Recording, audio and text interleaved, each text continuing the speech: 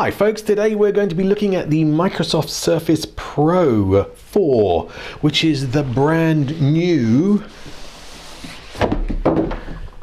laptop come tablet come everything. Why I say laptop is because it has the option of adding one of these things with it, which is the type cover, which is uh, the incredibly slimline keyboard, which is pretty awesome, actually, I've got to say. Right, let's have a look at uh, the tablet itself. What's in the box first? Okay, so uh, user manual, lots of interesting, fascinating information about setting up a, a Windows 10 uh, tablet and warranty stuff, and a very nice little stylus, which goes kind of like that magnetically on the side. Can you see that? Slick, eh?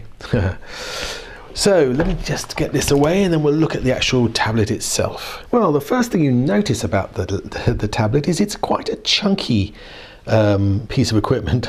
It's much more so than, than the typical Android. I mean, it comes with a 12, this is a 12.3 inch uh, display, um, ClearType display, uh, with Gorilla Glass 4 on it, so it's quite tough, tough um, in terms of knocks. Um, USB 3 um, has uh, an 8 megapixel camera on the rear and a 5 megapixel camera here on the front, so taking those all important selfies. 2.5 gigahertz dual core i5, uh, which is a, a meaty processor with far, uh, four gigabytes of RAM on this particular model and 128 gigabyte uh, disk um, SSD. So it is spec'd like a laptop um, rather than a tablet, which probably makes for the extra weight of 770 grams. The screen 2736 by 1824, a USB 3. Let's just have a look. So on the side here, you see USB 3 and a display adapter, micro SD slot for adding in uh, extra memory. Um, that's for the keyboard attachment there.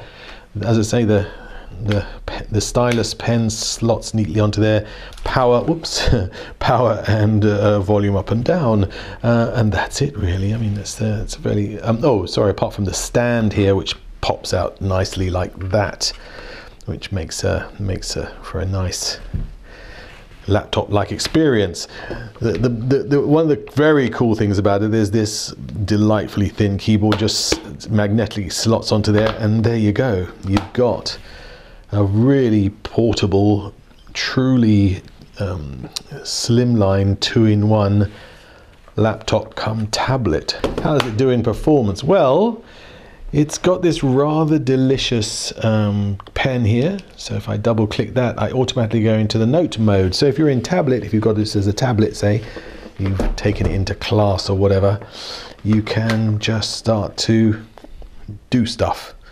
Write notes, this is a great lecture etc etc and save these for further use. So it really is a practical kind of um, unit. It's not a just a pretty little toy that you write on. It, it, it's it's got some intelligence behind it which is quite cool. You can clip things off the uh, off the screen so like that if you want to do that off maps and stuff like that and it's a very responsive kind of stylus. So I have to give 10, 10 out of 10 for the stylus actually because it's very very efficient and even has a button on there. So if you uh, if you're using it, you can use it kind of like a mouse, which is quite kind of cool.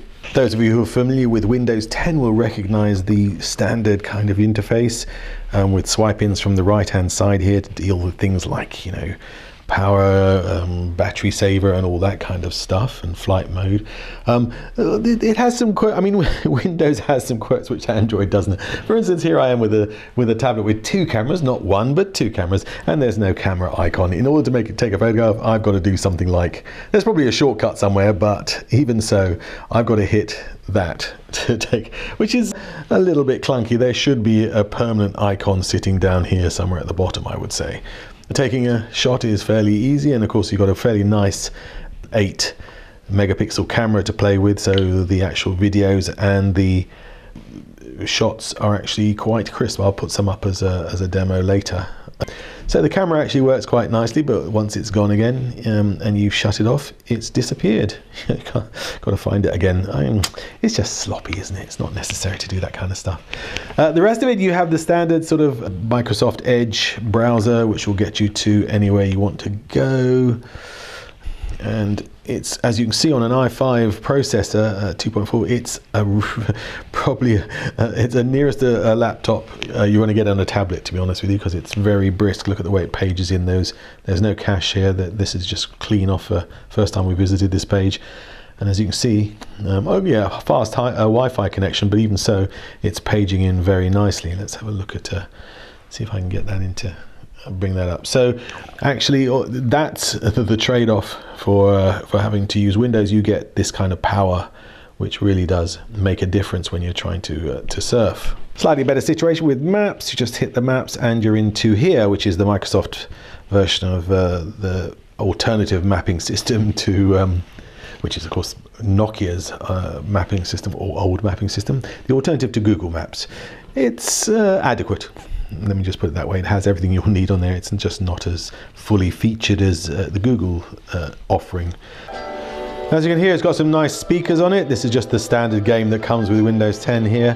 But the, the speakers are Dolby and they're nice and loud, so you're not going to suffer from not hearing them. They're there, right at the top, top two corners here. So full into your face. As you can see, I'm shouting. No, I'm not too much. For us, the real, the real powerhouse of this tablet is the fact that it comes with this amazing little keyboard. It's a great keyboard. You have to say it's it's crisp. Um, it's got a great little feel on it. You know, much better than some of these little bolt-on keyboards. Um, the fact is, not Bluetooth means it's much better on power consumption for the whole unit. It's also incredibly usable. This this trackpad on its own is one of the most re responsive we've seen on anything like this. It's a joy to use this this little add-on here.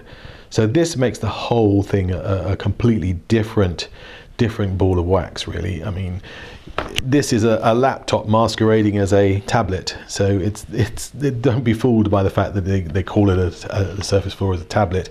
This is a laptop really with a with tablet pretensions. So you can carry it around and use it in tablet kind of situations, you know, lectures and taking notes and stuff, but yet then get the full productive capacity of a, of a laptop when you need it. That that is worth its weight in gold.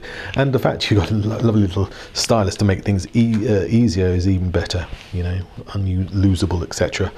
So all in all, I've got to say this Microsoft Surface Pro 4 is, is really quite a, a winner for its genre.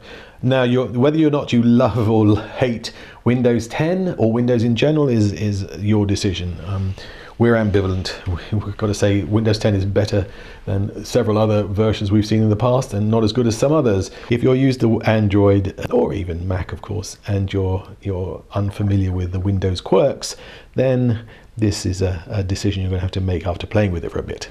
But from where we're sitting, this is a really nice, look at that little nice little finish on the top there. It's a nice little package indeed, the Microsoft Surface Pro 4. Oh, finally, just the last thing is to say that the uh, battery life of this is rated about nine hours, but Mm, to be honest, um, you know, if you're if you're using it extensively, either gaming, watching movies, or anything like that, I anticipate you'll uh, you'll get a lot less than that, maybe around six or seven or so, but I haven't tested that actually objectively, so please don't quote me. The Microsoft Surface Pro 4. Yeah, nice. Like it, like it. As usual, if you enjoyed this video, please subscribe to the channel so it can bring you more cool stuff. Thanks.